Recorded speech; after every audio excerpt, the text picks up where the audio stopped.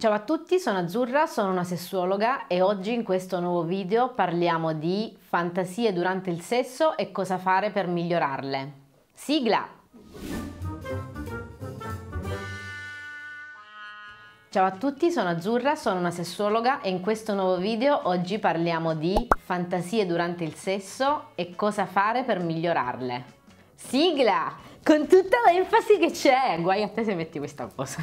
In molti mi avete chiesto delle informazioni in più sulle fantasie perché non è sempre semplice fantasticare e perché non capisco se la fantasia che faccio è giusta o sbagliata. Che non sia semplice fantasticare è molto vero, soprattutto se da piccoli non siamo stati abituati a farlo, da adulti diventa una cosa veramente marchingegnosa, che è un aggettivo che probabilmente non esiste ma ci siamo capiti. Ci siamo capiti? Avete in mente quando la maestra di italiano vi chiedeva di scrivere un tema su quello che avete fatto la scorsa estate e voi scrivevate Quest'estate sono stato a Ostia Lido con i miei zii, mi sono molto divertito, punto. Beh, lei non intendeva esattamente questo, intendeva dire prova ad arricchire ogni parola e ogni concetto con dei dettagli in più, per rendere il racconto più fantasioso e più elaborato.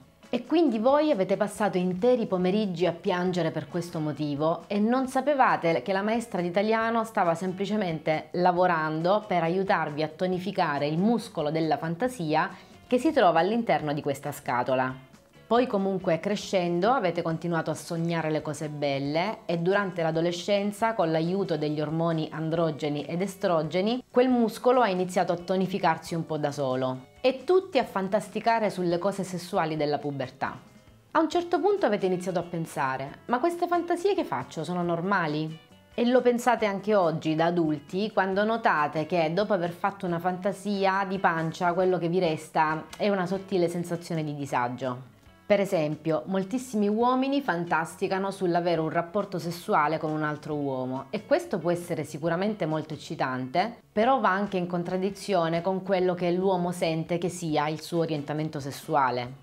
Beh, quello che posso dirvi è che alle fantasie non c'è limite, che quando parte questa macchina noi possiamo spingerci veramente verso confini mai esplorati e che non ci aspettavamo. E il bello è che non c'è bisogno di mettere in pratica quello che ci piace. Possiamo viverlo esclusivamente nella nostra testa, né la fantasia può diventare un'etichetta della nostra persona.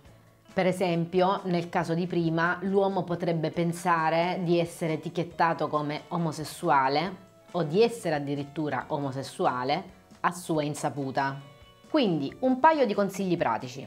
1. Potenzia il tuo muscolo della fantasia impiegando tempo per fantasticare. Quindi, per esempio, riduci l'utilizzo di pornografia, Mettiti steso o stesa in un luogo confortevole, in un ambiente che sia per te accogliente e inizia a muovere qualcosa nella mente, un po' come facevi con i temi d'italiano, ma meglio, e cercando di scrivere un copione che sia erotico. Può essere all'inizio noioso o frustrante, ma ti assicuro che dopo diventa divertente ed eccitante. 2. Accogli le tue fantasie una volta che hai notato che sono per te piacevoli e usale semplicemente come benzina all'interno della tua attività sessuale in masturbazione. Come ti senti nel farlo? Fammi avere un tuo punto di vista. Ciao a tutti e arrivederci al prossimo video.